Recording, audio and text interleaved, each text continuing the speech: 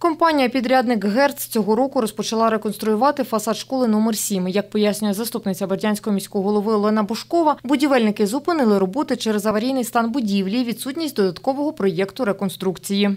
Були певні проблеми щодо самого проєкту, тому що в нас на ще на початку демонтажних е, робіт були е, вскриті такі е, проблемні питання. Додаткове обстеження будівлі було, але на сьогоднішній день вже продовжена роботу і проходить е, паралельно коригування проєкту щодо посилення несучих конструкцій. Деякі роботи не були враховані в е, первинному проєкті. Ми наразі вирішуємо питання е, зараз, щоб за можливістю включити їх при коригуванні.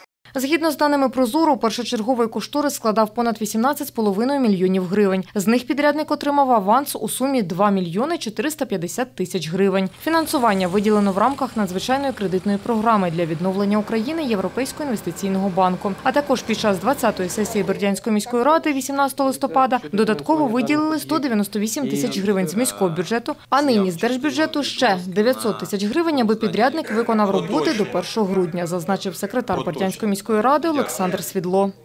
Додатково були виділені кошти для того, щоб ми змогли увійти в зиму з цією стройкою і вирішити е, питання стосовно відновлення відмостки, е, ремонту кровлі, утеплення фундаменту і так далі. Для відновлення робіт відбулася тристороння зустріч представників Бердянської міської ради, ПРООН та батьків. За словами начальниці управління капітального будівництва, реконструкції та технічного нагляду Бердянської міської ради Ольги Ольшаницької, підрядник нині працює, а вони контролюють ситуацію. Спеціалістка з інженерних питань ПРООН у Запорізькій області Галина Кудра розповіла, що компанія-підрядник отримала аванс вчасно і виконала частину замовлення. Тепер проєкт робіт мають скоригувати. У компанії Герц на телефонні дзвінки журналістів Суспільного не відповідають.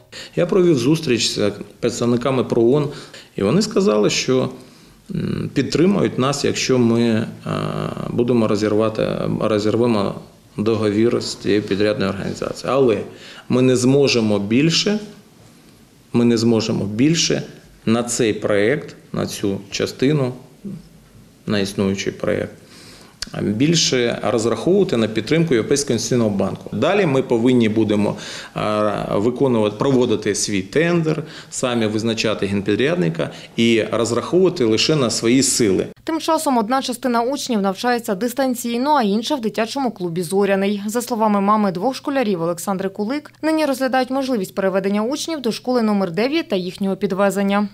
Представитель Герца нам пообещал, что до 1 Представник компанії Герц нам пообіцяв, що до 1 липня здасть об'єкт. Ми запитували в управлінні капітального будівництва, реконструкції та технічного нагляду, чи готовий новий проєкт. Там сказали, що ні. Всі звинувачують Герц, але це неправильно, бо в управлінні ніхто нічого не контролював. Добре, що працювати вже почали. Завезли техніку, люди на об'єкті. Від початку проєкт робили тільки на один корпус, а не на всю школу. Представники компанії Герц кажуть, що всіх документів їм не надали одразу.